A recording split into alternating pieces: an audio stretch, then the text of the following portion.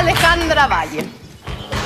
No quiero que escondas más información y la guardes. Quiero que tú cuentes absolutamente todo lo que ha pasado en Pirque, en el encierro, entre Mariana y Agustín Pastorino, mientras el pobre Roca todavía sigue viajando para llegar a Chile. Hay que decir que efectivamente ellos tuvieron una despedida, una despedida bastante cariñosa, Calurosa. muy calurosa también, ¿Con grito? Con gritos también, con Ah, estrellas. ¿Un mechoneo? ¿Cómo con ¿Cómo me mechoneo? No, con mechoneo. La vamos a dejar una despedida amorosa. Y la verdad es que Mariana habría quedado completamente destruida. En un primer momento, llanto, soledad. ¿Y qué piensan ustedes que hizo Agustín Pastorino en ese momento? Respetó el silencio, la dejó a un lado tranquilita. La fue a consolarla. Lo mismo que te hicieron así el fin de semana. No, No, eso no pasó. Ah, se En- creó en un la tierra de ambiente campeones. rico. La Tiene que haber verdad generado es un que- ambiente buena onda con Mariana. Llevan meses esperando este acercamiento. Ahora es como el gato cuando está cuidando la carnicería. Pero se aprovechó de, de su vulnerabilidad. ¿De qué? Es la vulnerabilidad Sí. y la soledad. En un primer momento, Agustín Pastorino no lo aprovechó. ¿Cómo? Ata. No lo aprovechó, como que se mantuvo al margen. Ustedes se Como acuerdan que. Agustín como que hasta el momento estaba relativamente al margen, no la pesca mucho. Quería estar solo un rato. Y lo que me contaron a mí es que de repente se acercó. Le dio el deseo. Se acercó y la empezó a consolar. ¿Y por qué ese cambio de actitud tan espontáneo? Voy a contar los hechos, no los voy a interpretar. Curiosamente, justo antes, ya curiosamente ya es, Ya, ya, ya, lo es interpretación. interpretando, ya. Justo antes tuvo una reunión con la producción y su indiferen- indiferencia cambió por una preocupación extrema hacia Mariana María. Alejandra, tú estás queriendo decir de que en esa reunión le dijeron, cabrito, a ti te contratamos para esto, así que déjate andar haciéndote el solo. Mira, Qué yo mal no sé si habrá José. sido tan manipulado, tan evidentemente manipulado. Pero entonces lo sí, ustedes saben Claro. que los aconsejan, les dicen cosas que pueden hacer. Así como me aconsejan a puertas. ah, pues si ustedes saben, ustedes Sí. saben. Donde me aconsejan. Efectivamente, y lo que habría pasado en este momento es que Mariana está muy cerca de Agustín, ahora él se ha transformado en su hombro y en su. Gonzalo, ¿te pueden aconsejar en la producción para llegar a ese nivel? Ya, ya me sorprende lo que dice la Ale. Puede ser, por lo que he visto ahora, yo lo que habíamos visto antes era distinto, pero a mí nunca me dijeron cosas por el estilo. Como hace esto, ahora me parecería mal de parte de Pastorino em, esta- a- entrar a la lucha ahora, siendo que no está en el fondo Roca. Me Sí, pero si te dicen, oye, esto es un programa de televisión, tampoco te pongáis tan Sí, grave, pero si no, no, finalmente pero- es para la pero tele. uno sabe, uno mismo está ahí, sabe en el fondo que la- el corazón sufre distinto cuando está allá adentro. No, no, no, no. Sería lo más tonto que podría hacer Mariana meterse con Pastorino. Lo más tonto, porque el hombre, el mejor hombre de la vida para ella es, Es Roca.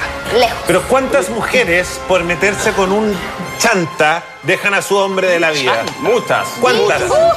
¿Y la cuántas boca- se arrepienten? Di- a ver, cállate tú. Di involucrarse y la boca Ah, Abuela, meterse. oye, ¿Qué es Usted que es una experta en el amor, ¿qué cree que va a suceder acá? ¿Qué es eso? Creo que toda esta tensión sexual entre Mariana, que ya está francamente que corta las winchas, porque por eso se ha estado como volviendo loca. ¿Y usted? No. Yo no estoy que corto las winchas. Y tú no te rías o si no cuento lo de No, no, ya me recallo. Bueno, pues bien. Tan, tan, Voy a seguir. Abuela, por favor, prosiga. Voy a seguir con lo mío. Yo creo que la tensión sexual que se ha dado entre esos dos tiene que verse realizada. Pero seguramente como corresponde a este guion, que es un guion bien hecho, esto será lento. Pero Se seguro. jabonarán la espalda, se acercarán lentamente. Qué rico. Será una caricia. Ella le dirá, no, no, no hables. Él le dirá, "Oh, ¿qué te pasa? y así irán avanzando hasta llegar al momento. ¿Qué? ¿Te gustó Me eso? gusta eso. Me gusta porque es como los labios de como- Oye, y justamente, de hecho, esta semana extrañamente no va a haber eliminación. Cuando la lógica sería que Mariana o Pastorino tendrían que, a lo Ser mejor por, por rendimiento, ser eliminados justo esta semana. Se acaba la eliminación, no hay eliminación por esta semana y así el guion de Nakazone puede seguir No, oye, por no más hay tiempo. eliminación, pero ojo que sí hubo competencia. Eso sí. Y entiendo que curiosamente, Joche por fin fue al futuro con Pastorino, curiosamente, y Mariana también, fíjense. Mar, no, Quiero que pase algo entre Roca y, y no, entre Pastorino y Mariana. ¿Por qué, Manu? Yo me quiero quedar con Roca. ¿Quién? Yo sí. Yo ¿Ah, lo voy a sí? Con Roca se va a quedar Dominique, así que... Bueno, te quiero. Oh, no, no creo. Abuela, ¿qué reality estáis viendo? Sí, no sé, pero la abuela de repente tiene visiones y esta puede ser una de las visiones de la abuela. Lo ¿Por que sí no? es cierto es que el Roca es uno de los favoritos para ganar este reality. Todos creen que va a llegar a la gran final y que va a ser el que se va a llevar los 25 millones de pesos. ¿Será tan así? ¿Por qué es el favorito? Se lo explicamos en la siguiente nota. Malú, reina.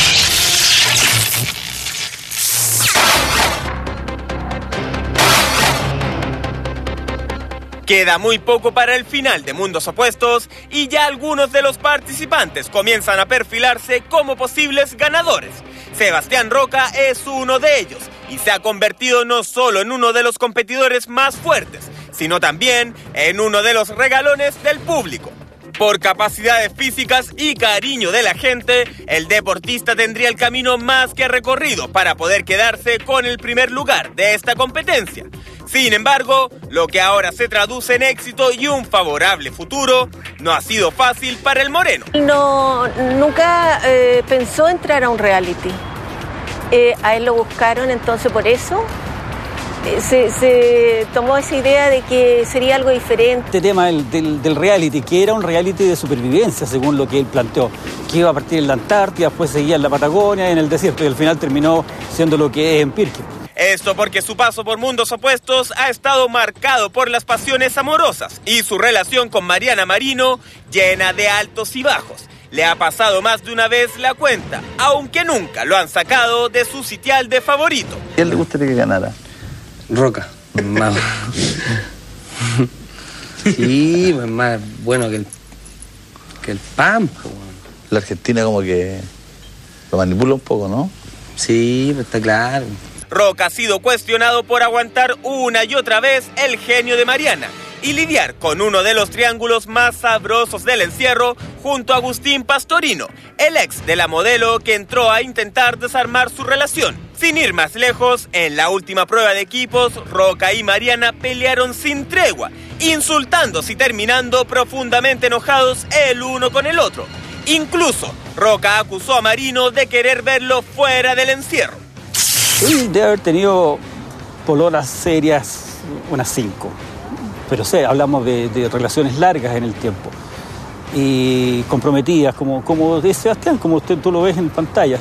Se entrega y él es muy regalón, muy amoroso. Mariana. Mira, lo que pasa es que yo en ese sentido no me puedo meter. Porque uno piensa en la familia de ella y yo pienso que Sebastián es el que tiene que elegir. Pese a todo, Roca continúa ganando competencias individuales y en las pruebas por la inmunidad se ha convertido en uno de los rivales más fuertes. Esto lo tendría en muy buen pie para quedarse con el gran premio del reality y coronarse como el ganador. Él tiene mucho carisma con la gente que está afuera, que lo quieren mucho y donde mejor apoyarse es en Sebastián. Es muy responsable, es leal, terriblemente correcto. Es un hombre que, que se ha esforzado durante todo este tiempo, se lo merece. Y al igual que London, también para mí, uno de los hombres serían London, definitivamente, y también Roca. Perito es Roca. Roca completamente, lo encuentro maravilloso. Eh, es buen hombre, ¿cachai? Es buena persona. Ha mostrado todos sus lados, se ha enojado, se ha reído, ha mostrado su parte de amor, su parte como de frustración. Eh, es estupendo aparte, ¿eh?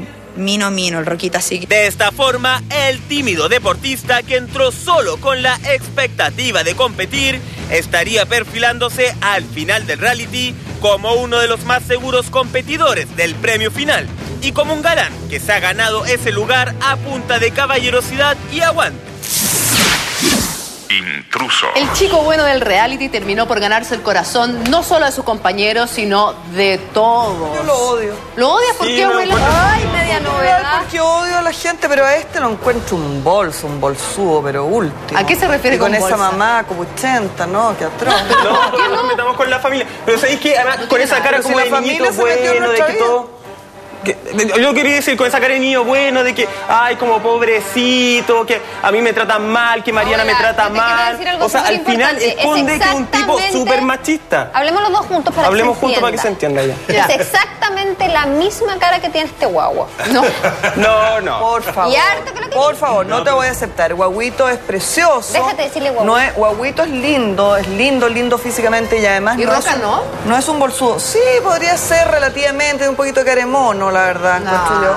Pero no es ninguna maravilla y lo que le encuentro yo es una falta de carácter, una capacidad para Aquí cambiar lo para que donde va caliente el sol. acontece donde calienta el sol es que lo tuyo es un dejo, un dejo de pica. Porque el roscón, papá roscón, no te pescó. A que Roca es uno de los favoritos, Me primero que nada porque no es farandulero, sino Cuando que tiene es como deportista Roca, ¿te extremo y la gente como que se puede identificar un poco más con eso. Y lo otro es que también finalmente es chileno, no es cordobés, no es de estos modelos, finalmente es como la víctima más que uno de los que forma escenas de intriga.